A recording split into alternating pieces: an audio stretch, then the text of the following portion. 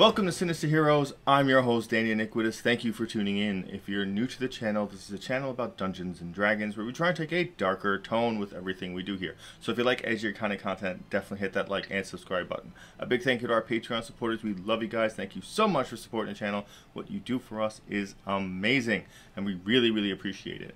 And if you're interested in becoming a Patreon supporter, the link is in the description, as well as the link to our good friends at Critical Failures, where we're part of a live stream game check us out.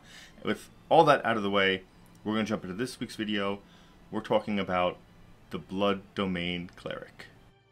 The Blood Domain Cleric comes to us from Tal'Dorei Reborn. This is again a critical role campaign book that was put out. It's kind of as close to like real official content as you can get as of the prediction of Explorer's Guide to Wildemount, which was Critical Role and uh, Wizards of the Coast put together. This kind of follows that same uh, environment and development. Developed in Wildemount by the Claret Orders, the blood domain centers around the understanding of the natural life force as it exists within the body and the divine conduit it can become. Those who take up this domain understand that the power of blood is the power of sacrifice, the balance of life and death, and the spirit's anchor within the mortal shell. Gods who grant the power of the blood domain, including the Ruiner and the Matron of Ravens, direct their followers to tap into the connection between body and soul, exploit the hidden reserves of will within one's own vitality, and corrupt the bodies of others through the secret rites of Hemocraft. Clerics of good gods use Hemocraft to fill their self sacrifice with purpose and power, while clerics with fewer morals use the blood of others to achieve their own malevolent ends. So that's a pretty cool description of what a blood domain cleric would be as soon as you see things like blood magic, especially when it comes to D&D, it does kind of set this huge expectation. So it is very difficult to kind of lead up to that because everyone already, as soon as they hear blood domain, has built up a whole sequence of things to do uh, and powers and the way it works. And it's hard to live up to that focus. So they do it's never going to meet what everyone's understanding is before they actually see what the subclass's abilities are. So it takes some time to kind of separate the two and kind of keep blood magic as it is in theory and put it in the world of Wizards of the Coast. So at first level, you gain proficiency in martial weapons. This is kind of your your kit with a cleric, especially in the previous editions. Where the new editions, there's going to probably change a little bit. Um, martial weapons does kind of give you more leeway to pursue a path of strength. You do have access to medium armor, so if you have two in dex, that is usually fine.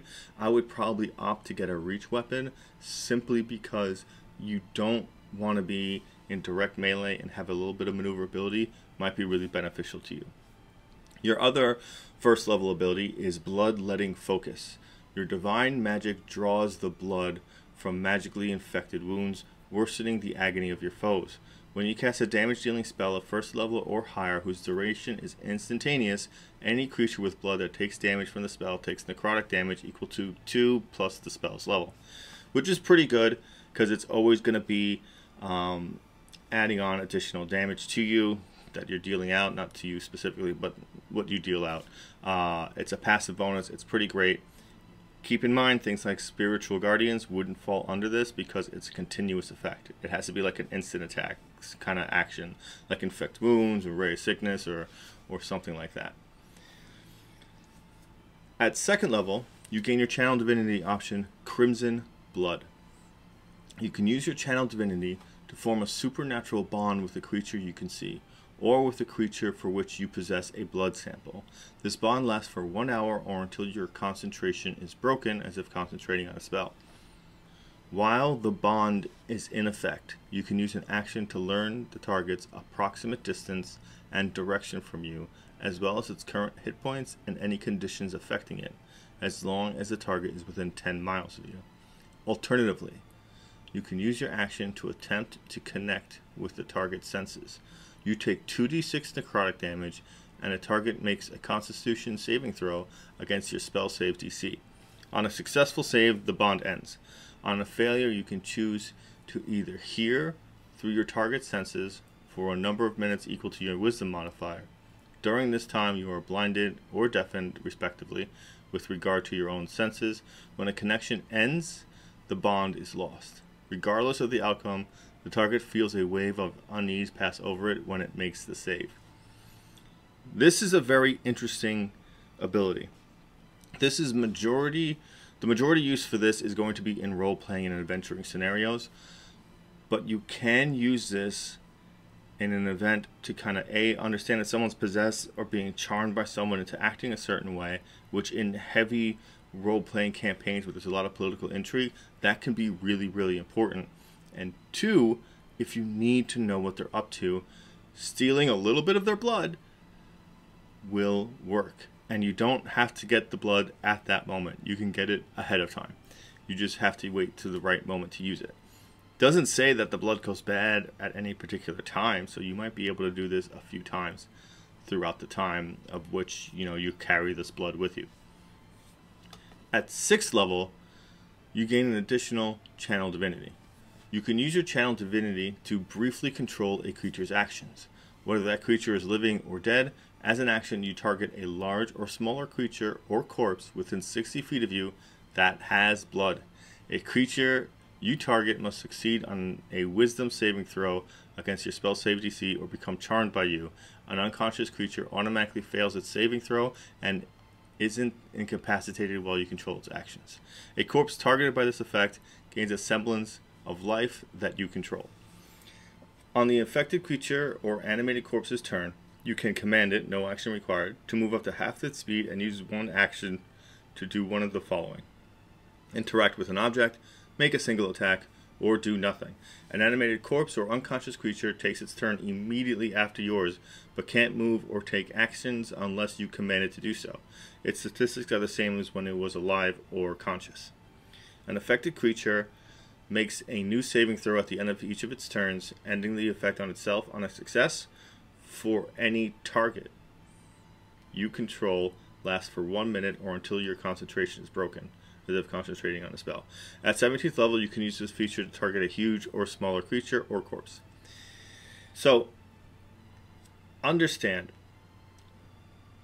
this is very, very powerful in a variety of different combat scenarios. If you can get someone before like before they go down, it's really beneficial to you. But if they go down and you're still taking a beating, raising up one of the enemy forces that did a lot of damage to you would be very beneficial to you. The caveat if it needing blood does kind of restrict you to maybe not using undead or um, constructs, but you do find plenty of fiends and devils and things like that that do have some sort of blood in them. So it does work on a variety of creatures. My honest opinion is to take out one of the heavy hitters, use Blood Puppet on its corpse, and then take out the rest of them and kind of focus the damage on that. It is a strong ability. Uh, it doesn't say that it comes back with 1 HP. It says it comes back with the same um, stats that it had when it was alive or conscious. So I imagine that includes its hit points.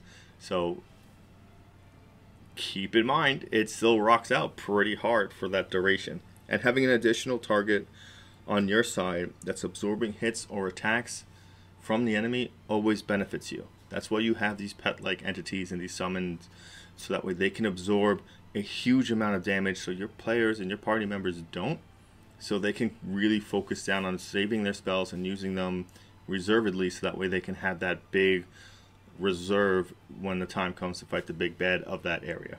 At 6th level, you also gain Sanguine Recall. You sacrifice a portion of your own vitality to recover expended spell slots as an action. The spell slot can have a combined level equal to or less than half of your cleric level rounded up.